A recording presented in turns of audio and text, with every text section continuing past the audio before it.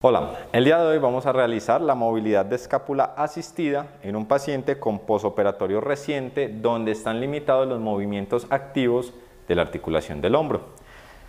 Para esto nos vamos a ubicar al lado de la extremidad operada, vamos a poner el brazo desde la región axilar, recordemos que el paciente no nos puede mover el hombro y nos vamos a asistir con la otra mano en la región escapular. Para esto vamos a realizar movimientos de ascenso, realizando movilidad del muñón del hombro, ascenso, descenso de la escápula, ascenso y descenso de la escápula. De esta misma manera vamos a realizar retracción o aducción escapular. Vamos a hacer retracción, aducción escapular y protrusión o abducción escapular. Retracción, aducción escapular y nuevamente la protrusión escapular. Recordemos que estos movimientos son importantes debido a el movimiento sinérgico que hay entre la escápula y la articulación glenohumeral.